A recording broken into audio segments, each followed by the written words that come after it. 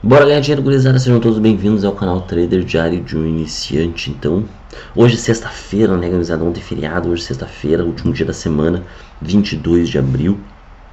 É, mercados mundo Europa e, e, e os futuros norte-americanos refletindo das falas do Jerome Powell, que enquanto nós estávamos aqui no feriado, lá fora, é, tinha estava funcionando normalmente. Né? É, a, na Europa está refletindo mais ainda porque na Europa depois que Jerome Powell teve o seu discurso lá ontem à tarde já estava fechada, né? E a fala do Jerome Powell foi bem com tom mais forte para aumento de juros, tá? A gente sabe o que, que acontece quando é, se fala em aumento de juros, tá? Realizações em bolsas. Então, o que está acontecendo hoje na Europa? Realização, tá? É, então, o que, que temos mais aqui? É, caindo aqui, né? O trio norte-americano, Europa caindo mais de 1%, é, petróleo caindo um pouquinho, minério de ferro também. É, deixa eu ver aqui mais aqui. Ouro caindo, dólar. O índice do dólar, tá, cruzada levemente positivo em, em, nessa sexta aqui, tá, cruzada Sexta de é, é, 0,26 de alta que mais que temos? Ah, um, algo interessante que também ontem. É, aqui já não aparece mais o de ontem, tá? Mas ontem o EWZ. O EWZ eu já falei aqui, né, gurizada? É o índice dolarizado, tá? É o índice dolarizado. É o índice operado lá na bolsa deles. Caiu quase 3%, né, gurizada? Então isso pode refletir hoje na nossa abertura aqui, tá? Hoje pode refletir na nossa abertura. Nosso mini índice já pode abrir com um gap de baixa. É, baseado nessa, ó, nessa, ó, essa queda das ADRs aqui, ó. Então, o EWZ, como ele ontem, depois da fala do Power, fechou com uma baixa muito forte, de quase 3%, provavelmente nós teremos um, é, realizações aqui também e deve abrir já precificado com esse gap de baixa aqui no nosso índice, tá?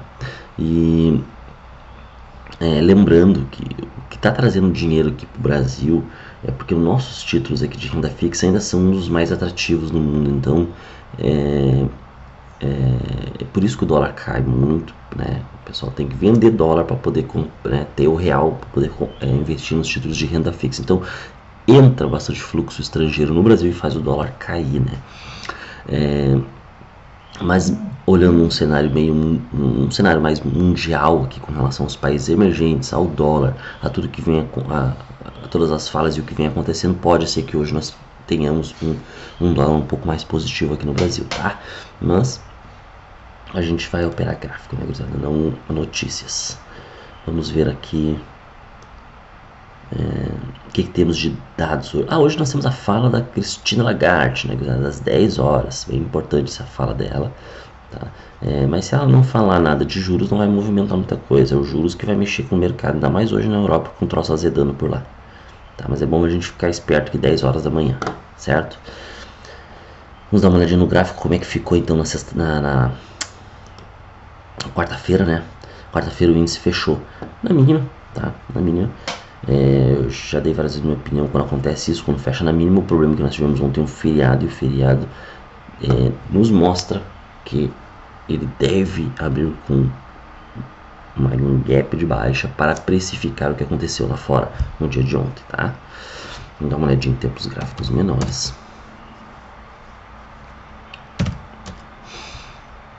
Uhum. É, quando ele fecha da mínima assim, não tem um padrão né, de continuação, então eu sempre digo que ele abre com um gap. Só que como eu falei, ele deve precificar o que está acontecendo lá fora, é bem provável que ele abra com um gap. Assim como na Europa também hoje abriu com um gap de baixa.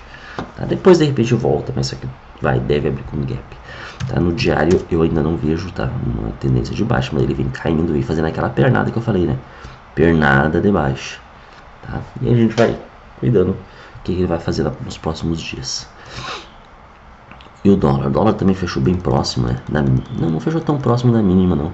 Mas ele, ele, ele tá próximo da mínima do ano, né? Próximo da mínima do ano que é esse 4613 aqui.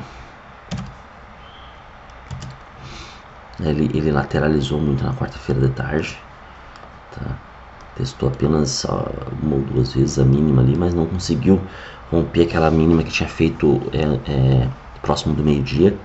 E aí que lateralizou nessa região depois de cair forte, né? Ele lateralizou naquela região ali.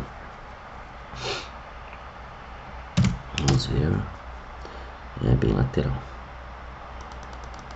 Então a lateralização é de 5,640, né? 5,640 arredondando aqui. E, e, e, a mínima dessa lateralização aí é 4,620. Tá? Então é, um, é 20 pontos aí de lateralização. Vamos ver, vamos ver se ele abrir nessa lateralização o que ele vai fazer. A princípio, na minha opinião, acredito que ele, devido ao que vem acontecendo lá fora, ele abra fora dessa lateralização. Tá? Mas vamos ver na abertura o que pode acontecer. Bom, gurizada. Acho que era isso então, né? Um bom dia para vocês, ótimos ganhos, bom final de semana. Até o próximo vídeo. Valeu, tchau, tchau.